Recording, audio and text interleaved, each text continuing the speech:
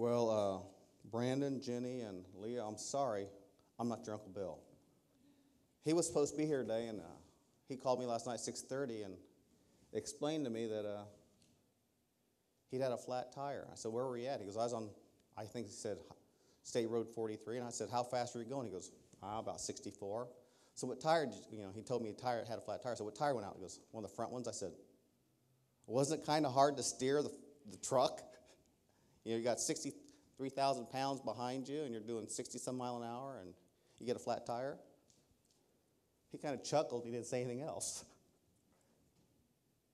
Each and every day, we have peril in front of us. We have it behind us. We have it next to us. Um, you know, SL and Bertie were just in an accident a few weeks ago, and they were both in the hospital hurt poor Reagan got her leg cut off, and she was in the hospital recuperating, and she was finally at home in her apartment when she passed away. And I'm not sure what the circumstances were, but I know it's very hard on the family. Death is constantly around us, and there's nothing we can do about it. That's part of life because of sin. It's real simple. I'm going to tell you something else too. When Bill called me last night at 6:30 and says, "Can you do the sermon tomorrow? I said, Well, someone's going to have to. So I didn't know what he had planned. He told me he'd sent the information, the text to, uh, to Leonard Troxell, but when I looked on the, you know, for information on the computer and stuff in my email, wasn't there. I said, This is great. So what am I going to talk about? Well, duh, it's Easter. I had no idea what Mike was going to sing about. But what he talked about, or what he sang about, it was Simon of, I think it was Cyrene, how we say it, C Y R I E N, I think that's how you say it. He was a stranger. He and his, his, his sons were believers, but he was a stranger. And uh, the guards just saw him. Jesus had been beaten so badly that he couldn't carry it. He, he, he was having hypovolemic shock, was what Jesus was in, besides the fact he had the burdens of the world on him. But anyway, let me digress a little bit here. I don't know, a lot of people know I went on an honor flight about, oh, six months ago, October, I think it was. And we took 70 World War II vets and some Korean War vets to Washington, D.C. Well, today, there are 200 World War II and Korean War veterans going to uh, D.C. It's the largest group that's gone from the state of Indiana, so that's, that's a big deal. But one of the gentlemen on the, um, on the flight is 102 years old. He's 102 years old. They had him on the radio this week and stuff, and it's amazing. Remember a few weeks ago, Pastor Peterson talked about in 1915, Ellen G. White did a talk, and she talked about there would be people alive in 1915 that would be here today, that would be here when Jesus came back. This gentleman was born, I believe, in 1913. So he was, he's, he's one of these people. There's 300,000 people on this planet that are old enough to, to recognize, you know, represent this age group.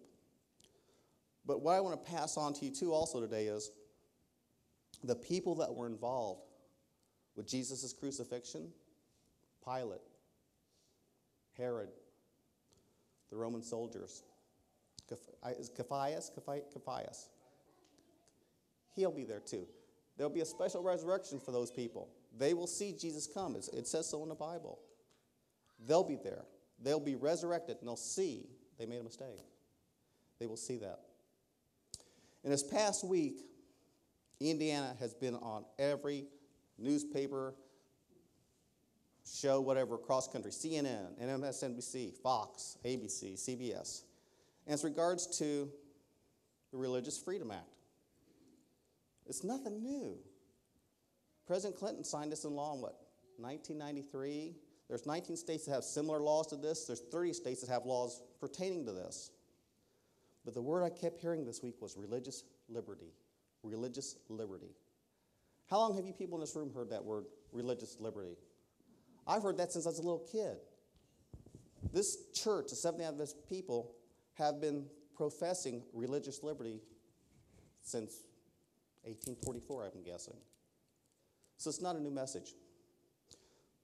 But I want everyone to realize that this is coming to the forefront now. Why? because the times we're living in. There's peril all around us. What was funny is, night before last, Laura and I were watching TV, and Dana Loesch lady, she's out of St. Louis, she came on and she said that she started this fun on these people lived in Walkerton, Indiana. I said, Walkerton, Indiana? I know where that's at. So we listened to it. And About these man and his daughter, you know the story. Hypothetical situation. Said, well, we probably wouldn't do that because it's our belie- against our beliefs. At that point in time, something hit home. They're going to be telling us as Adventists what we need to do that's against our beliefs. We're Sabbath keepers.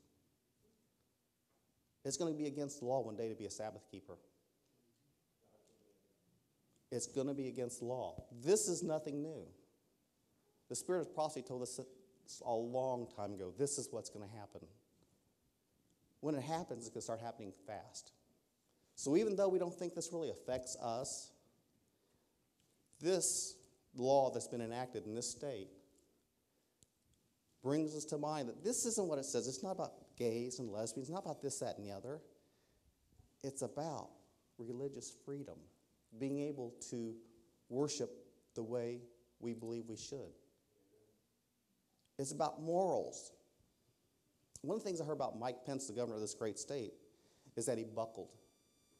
He compromised himself. He should have said, you know, we passed the law, let the courts decide. Because the outcry was from both sides, from the conservatives, from the liberals, both sides. Well, we, you know, we got to try to work together, guys. You know, gotta, no, we have to stand up for what's right. Those of us that are willing to compromise our beliefs will be lost.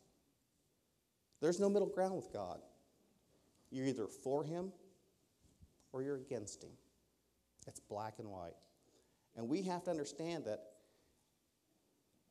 we're governed by the laws of this country. But more importantly, we're governed by the laws of God. We can't ever compromise our beliefs. We can't. Let me read to you from the Desire of Ages, this chapter uh, 75. I'm going to do a little reading here because it's easier than coming up with a sermon in 12 hours. So, hopefully, this is what God wants me to talk to you guys about. The history of Judas presents the sad ending of a life that might have been honored of God. Had Judas died before his last journey to Jerusalem, he would have been regarded as a man worthy of a place among the twelve and one who would be greatly missed. But we know that's not the case. For 30 pieces of silver, for 30 pieces of silver, I've got a piece of silver here somewhere. Yeah, this is um, United States of America, one ounce, 0.99% fine silver. This piece of silver here, made 19, uh, no, 2014. It's a Liberty silver coin. Just a coin, pure silver. This one ounces, ounce of coin was worth about $16.50. On the high side, it was $27 one time, but right now it's about $16.50. So 30 pieces of silver at 16 bucks a piece is $480.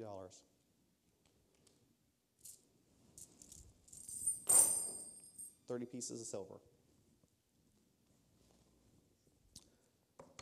Judas thought he knew more than Jesus.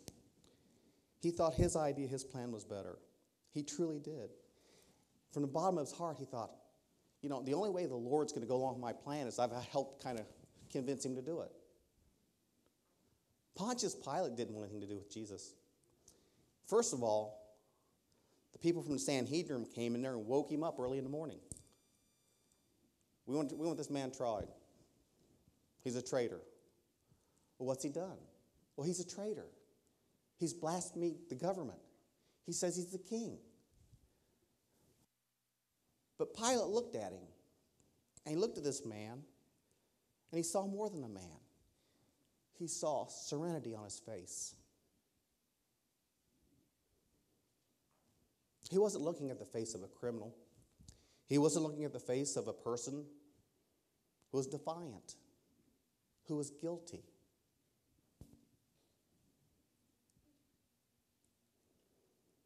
Now, as the proceedings went on, Pontius Pilate did everything he could to say, hey, this guy hasn't done anything. What are his crimes? And they really couldn't come up with anything. They lied.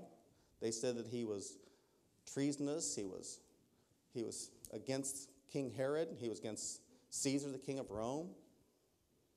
But they were never able to completely convince Pilate. So Pilate says, hey, you know what? You guys, Jews, fall underneath Herod. So why don't you go, and I'll send you to Herod, and, and Herod can take care of you. You know, if you want him crucified, he'll have him crucified. But I, I have no guilt. There's no guilt. I'm not going to do it. So he didn't. He sent him to Herod. And Herod was kind of like, well, this guy, he's, he's related to John the Baptist, isn't he? Is he John the Baptist resurrected? I just got that guy's head cut off. Ah, I don't know if I want to deal with this guy or not. It kind of scares me. But curiosity got the best of him. So he went on and said, Okay, Jesus, come on in here. What have you done? Jesus didn't say anything. He didn't answer him. He didn't talk to him at all. And here's Herod. You know, he's a king. This is, he's a governor of this area. He's in charge. He's given Jesus an opportunity to, you know, say something, save himself. And he, he wouldn't do it. He said, Tell you what, I've got some sick people over here. Perform a miracle. Heal them. Make them better. I'll let you go. He wouldn't do it. Jesus would raise the dead, he would heal the sick, those who believed in him, those who needed healing. But he wasn't going to do it to heal himself. He wasn't. Herod got so mad. I mean, he just he tried to work with him, but his fear went away. His fear of God went away. But the Spirit was talking to him. Same way it was Pilate. Pilate didn't want to see Jesus that early in the morning. He didn't want to see anybody. He wanted to stay in bed. But as soon as he saw him, the Spirit touched him. So, Herod said, You know, I don't see he's done anything wrong. Send him back to Pilate. So, went back to Pilate. Now, Pilate's wife had had a dream, and she saw who Jesus was. She was terrified. And she wrote her husband in a note, had it sent by messenger to him, and said, Dear hubby, have nothing to do with this man. My dreams are wearisome. I'm afraid. Get away from this. So, Pilate gave Jesus another chance, you know, who are you? And the crowd said, He's, you know, king of the Jews. And Jesus more or less said, you know, who they say I am. He never resisted. He never even felt contempt for these people. No revenge, nothing. They stripped him of his clothes. They put a crown of thorns on his head. They had rods and they'd hit him in the head with this, the rods. The thorns would go into his, his scalp and he'd bleed. So Pontius Pilate, being the brave person he was, allowed the soldiers to beat and whip Jesus. And we don't know how many lashes he got, but 39 was the number of lashes he should have got. Now, when I looked up a, a scourge, however you say it, it talks about leather whip with uh, balls of lead, balls of lead here, with sheep bones. Then when I looked and read about how it worked, the lead would rip your skin. These barbs would jab your skin, and then the soldiers would pull them back very hard, and it would rip the skin. And just looking at the pictures that I saw, Jesus was um, had lacerations, he had contusions, he was bleeding tremendously. I smashed my thumb last night working on that, and it wouldn't stop bleeding for the longest time. Every time I shake it, blood go everywhere. So there's probably blood all over this thing too. But that was just my thumb. They beat him on his legs. They beat him on his back. I'm sure some of them hit his face. They weren't aiming, they were just swinging the thing. Wherever it hit him, it hit him. As you can see, these guys kind of have a, a mind of their own. They just don't all hit the same place, they scatter. I got back from a run the other night at the firehouse. I came in, a TV was on, sat down, started putting my report in. Guess what was on TV? The Passion of the Christ. That has to be one of the most bloody, malicious, violent movies I've ever seen. I had to turn it off.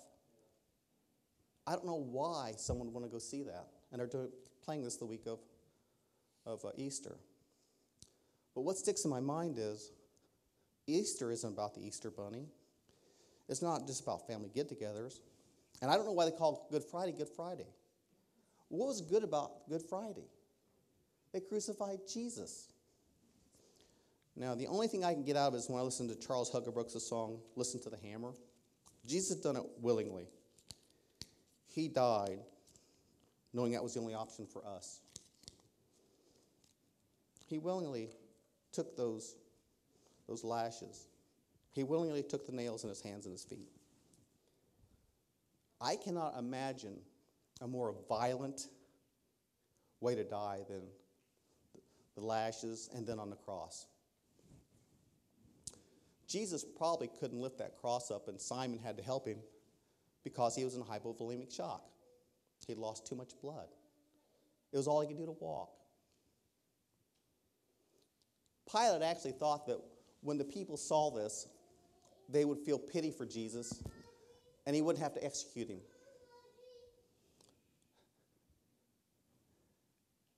But he was wrong. Satan in human form and his demons were there in the crowd. Crucifying. Let his blood be on us. That's what they said. They didn't know that that would haunt them for their, the rest of their lives. And, and, and even Satan and his angels that were there, their time's coming too. But that's not what this is all about.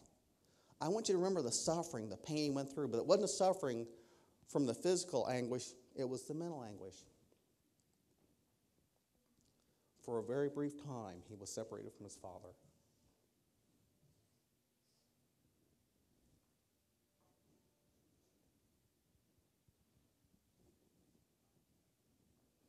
He saw your sins and he saw my sins.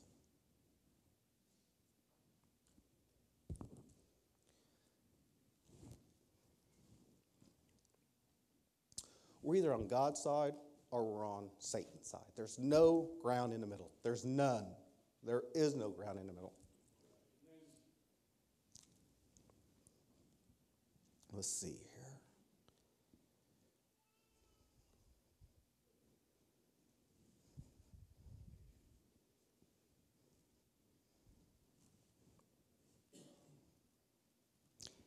Christ did not yield up his life till he had accomplished the works which he had come to do.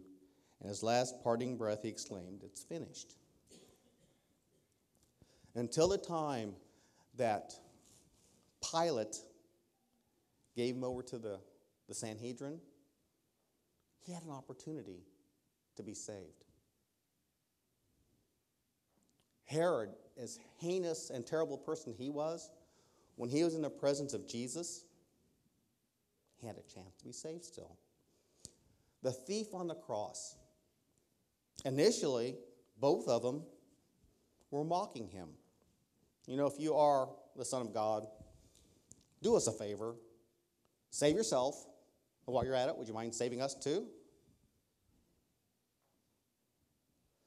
But as the day wore on, he listened to Jesus. He was listening to him pray to his father. He heard him say, Father, forgive them. They don't know what they're doing.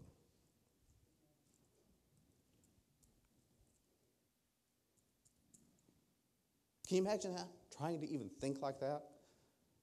You've been beaten. You're hanging on a cross. And you still care about those people that have done this to you. He expects that of us, though. He has set the standard for each and every one of us. He has. This is our standard. If we want to be Christians, this is what we must do. We must turn the other cheek. We can't give up, but we can't give in. Mary was at the foot of the cross. Now, I'm thinking that John took her away for a while, and I think I remember reading that in Desire of Ages. But Jesus, Jesus had a, he'd been a, he'd been a good son. Even his brothers at the time didn't believe he was the Son of God. They didn't believe that he would be who he was. In his own house, they doubted him. But Mary was given a vision. I don't know if it was when she was with child or when Gabriel told her what was going to happen. But we do know that she was prepared for this. It's still going to be tough for a mom to see her son die this way. But she was prepared. She had to be, or would have killed her, probably the shock. I can't imagine. I don't want to. Tomorrow is Easter. Tomorrow's the day that, that Jesus was resurrected. And the important part here is we have to remember is if we believe on Jesus, that he will forgive our sins, and that he died and was resurrected, I think those are part of the components we as Christians have to um, abide by. But we have to understand what he went through. We will not be spared. I don't know that would be the, the lashes he took, but Paul took them. He was stoned, he's beaten with a rod. But when we think about what Jesus did for us, this was the only way. There was no other way that we could be saved as sinners. No way. This was it. Satan only wanted to get a little rise out of Jesus.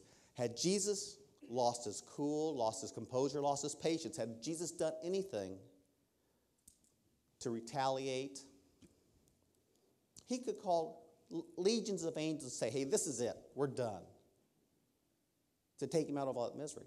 But then we wouldn't have been saved. He could have done so many different things. He could have stood back and said, hey, I'm out of here. He, he healed the dead. I'm pretty sure that angel that killed, the, what, 20,000 uh, Israelites during the uh, reign of King David, he wasn't far away. The one that killed the firstborn, he wasn't far away. The one that helped Gideon, he wasn't far away. But he didn't. He was humble, he was meek, and he's obeying his Father's will.